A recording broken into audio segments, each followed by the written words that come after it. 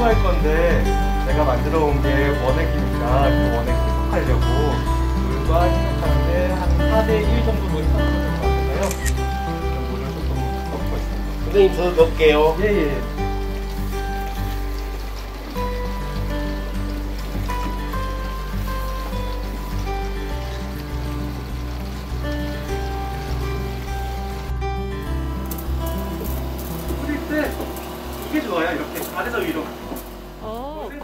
방법이네요. 예, 벌레들이 그 식물의 뒤쪽에 그 있으니까 아래서 위로 이렇게 뿌리면 살충 효과가 더 좋습니다.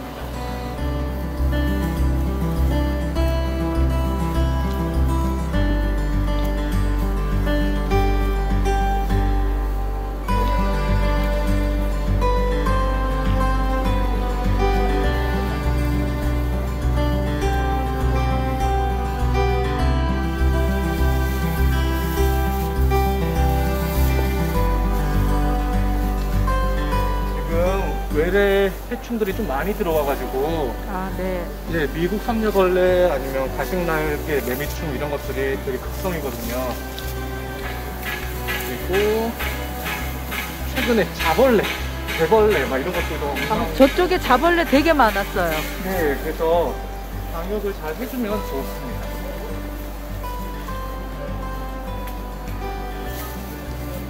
지금은 나방들이 많이 알 까고 부화하는 시기여가지고 나방류 네. 방제를 해줘야 되는 시기인데요. 지금이 코로나라서 어느 때보다 방역, 방충, 방멸 이런 게 참 강화된 시기인데 예, 예. 이 시기에 우리가 계속 이렇게 바- 저기 방역하면서 살아야 돼- 될까요? 참 어려운 문제인데요.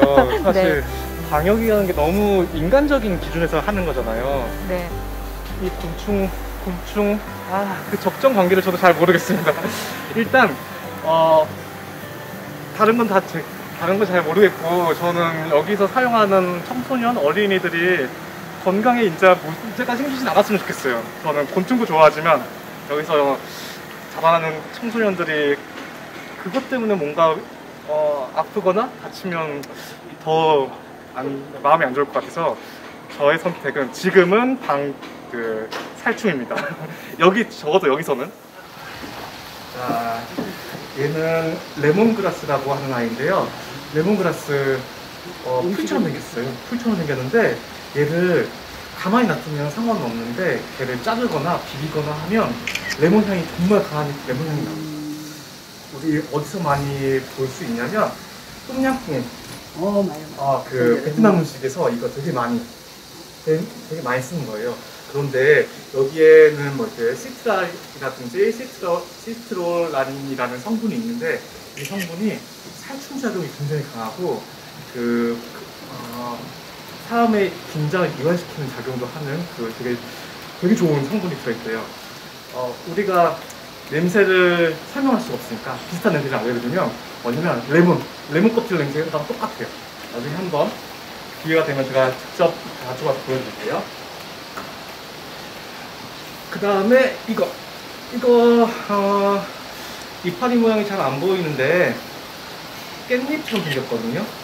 근데 지금 색깔은 녹색으로 나왔는데 이게 조금 있으면 자, 자주색으로 바뀌어요. 얘 이름은 자소엽 차족이라고 부르는 아이인데 어, 식물 중에서 가장 살균 효과가 되게 뛰어난 식물이에요.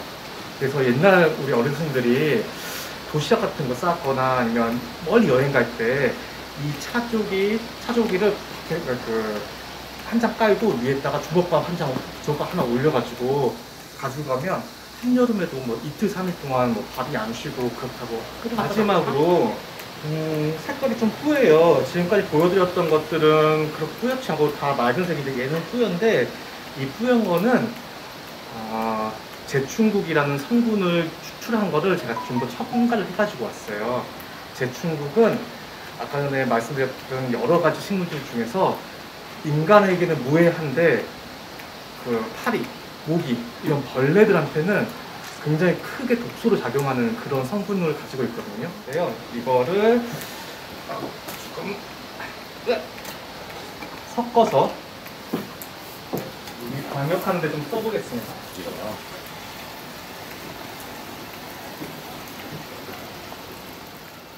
인간을 기준으로 만든 거여서 아. 어, 식물한테 살균제 역할을 하는 그 알코올이 식물 세포를 세포벽을 그 파괴시키고 알코올이. 네, 좀그 농도를 약하게 하긴 했는데 그래서 식물한테는 원래 좋진 않죠.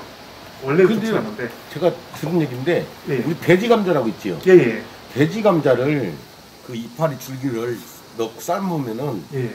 그게 뭐 그 살충 효과가 있다는 얘기가 아 예. 그 많은 식물들이 자기 몸을 보호하기 위해서 살충 효과를 가지고 있어요. 아. 식물들은? 그, 예, 그 중에 하나가 돼지 감자도 그런 게 있고요.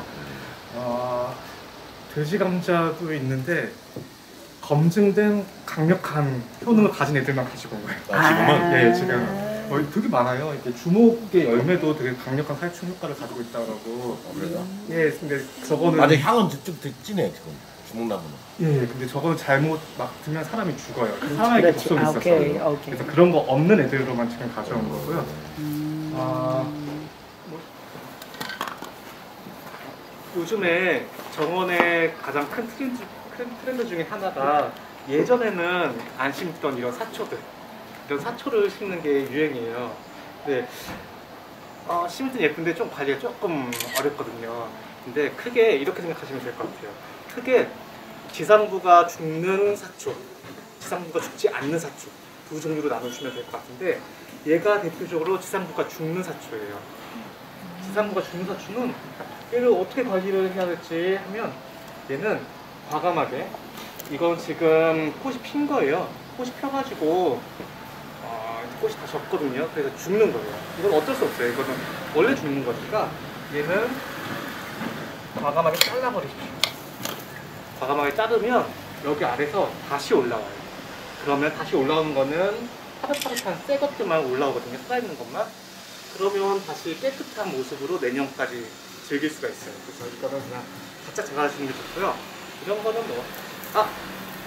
저희 집에도 이거 있는데요. 저희 집 정원에서는 저는 어떻게 했냐면, 이렇게 했어요. 그냥 재미로. 알코올이 같으니까. 세 개로. 아유, 빠지네. 이렇게 해서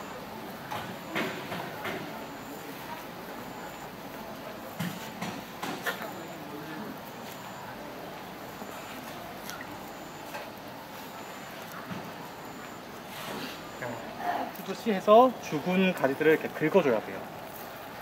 얘도 마찬가지거든요. 제 흔히 그 은사초라고 부르는데 그 blue fescue, blue fescue인데 얘도 바짝 자르는 게 아니라 얘는 이제 지저분한 것들을 이렇게 손으로 빗질하듯이 빗질하듯이 이렇게 해서 이런 죽은 것들만 뽑아내주면 다시 생생하게 관리할 수 있습니다.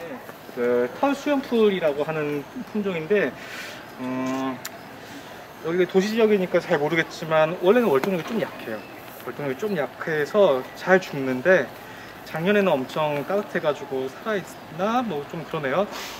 올해 그 장마에 좀 약해가지고 얘는 아, 좀 바꿔줘야 될 필요가 있는 품종인 것 같아요. 지금 여기 그 주교 청소년 카페에서는 아무래도 손이 좀 덜 가도 예쁘고 좀 잘 자라는 것 이런 거 위주로 식재가 돼야 되지 않을까 싶어서 얘는 제가 나중에 한번 봐서 얘는 바꿔드릴게요.